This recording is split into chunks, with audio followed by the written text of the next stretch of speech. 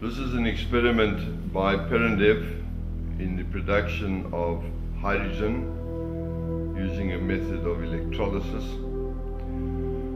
In front of you, you'll see a container. On the left, a little capture jar, and in the background, a battery, 12 volt, 188 amp battery used in a large automobile. On top of the container, you will see three protrusions. The left one is the outlet tap. The center is the pressure gauge. And on the right, the emergency relief valve. If the pressure exceeds 6 bar, that pressure relief valve will acti activate. We're now going to turn on the system and I will zoom in on the plates. You can see the interaction taking place. Power is now on and immediately we get an immense um, amount of power coming out and on the right on the left you can see the, the capture jar with the hydrogen bubbles being produced.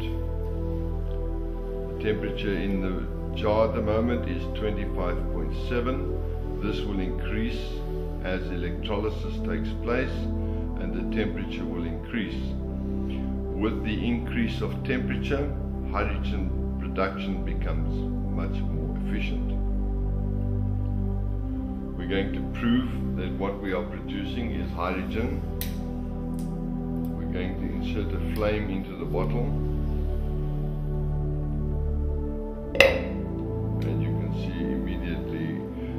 Hydrogen explodes. The production of this system would be sufficient to run a small motor vehicle, although the container will be reduced in size. We're now going to close the valve and increase the pressure in the container.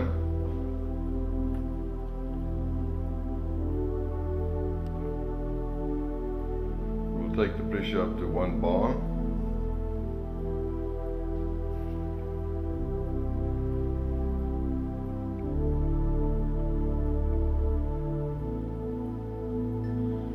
pressure is increasing now. We're at approximately half a bar.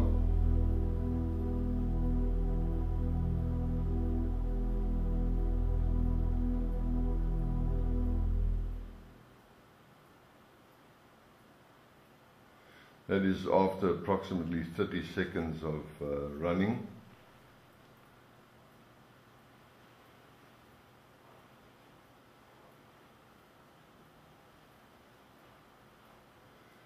I must point out that although we are using a car battery, once the battery is in a motor vehicle, the motor vehicle normally charges around 14 volts and um, smaller units 45 amps and uh, larger units anything up to 80 amp hours that is derived from the alternator.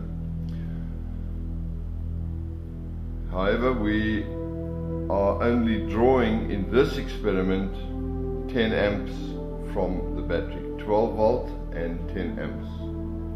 You can see the power is now increasing up to 1 bar.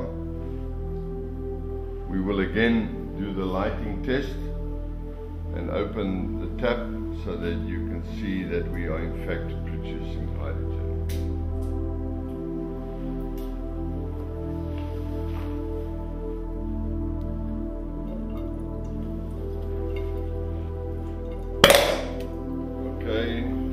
even the most skeptic. Thank you.